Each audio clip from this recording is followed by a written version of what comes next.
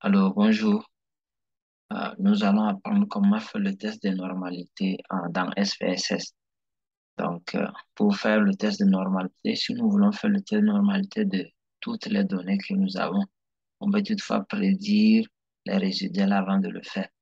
Mais dans ce cas, dans le cas présent, nous allons faire le test de normalité d'une variable pour voir comment les données sont distribuées. Est-ce que les données sont normalement distribuées sous cette variable? OK? Donc, comment ça se fait? D'abord, il faudrait rappeler que nous allons, euh, premièrement, faire le test visuel. On va utiliser histogramme et euh, la courbe normale de distribution pour vérifier euh, la normalité. Et dans un second cas, on va faire également un test numérique. Donc ici, on s'en va ici au niveau de l'analyse. On prend descriptif statistique, on prend fréquence. OK? Euh, ici, euh, je ramène d'abord ça. On veut vérifier s'il y a une distribution normale par rapport à la variable âge. Donc, je prends âge, je la ramène ici. Donc, euh, puisque c'est un test visuel que je voudrais faire, donc je vais au niveau des chats. OK? Je prends histogramme. OK? Je clique sur histogramme et je clique sur Show Normal Graph.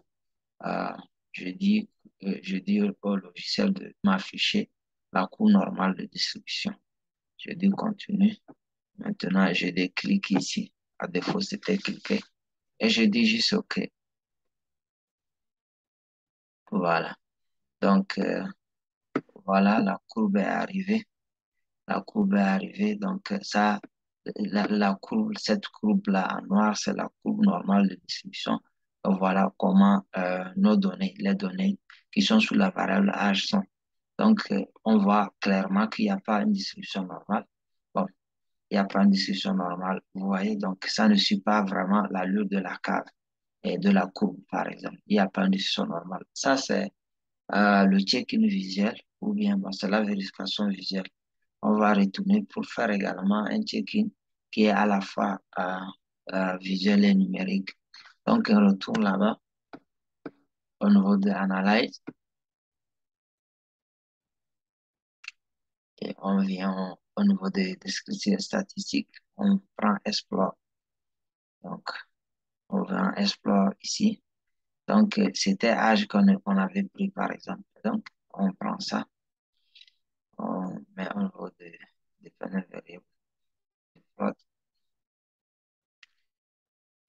Donc, euh, yeah. Je prends normalement le plot test. Donc, puisque c'est un test, un test de, euh, de normalité, je suis en train de le de faire. Alors, euh, je, je prends normal, normality plot with test. OK? Donc, et je continue.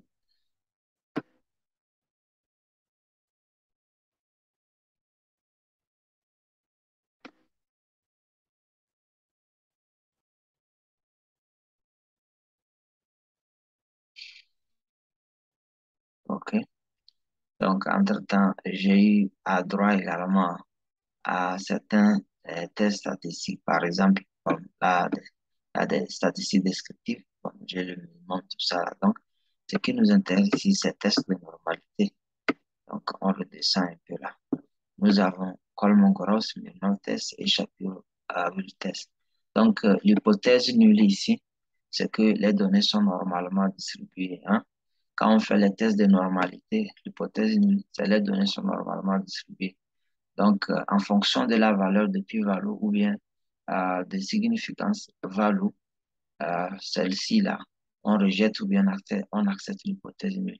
Dans l'hypothèse nulle ici, les données sont, les, données sous la variable âge sont normalement distribuées. Donc, on va parler le p-value est inférieur à 5%. Donc, on va rejeter notre hypothèse nulle et dire que les données sont pas normalement distribuées. OK. À part ça, également, il y a cette, là, c'est ce schéma-là, ou bien qui vient également nous parler, de la distribution normale. Au fait, il y a, il y distribution normale quand tous ces points-là que vous voyez sont alignés, ils sont sur la ligne là que nous voyons. Vous voyez certaines déviations. Donc, euh, ça paraît être normalement distribué, mais ça n'est pas normalement distribué. Surtout que euh, le test là, numérique nous confirme qu'il n'y a pas de distribution normale. Donc, il y a deux tests numériques qui sont arrivés à la fois. Nous avons à Kolmogorov, Smironov et nous avons Shapiro-Wilk.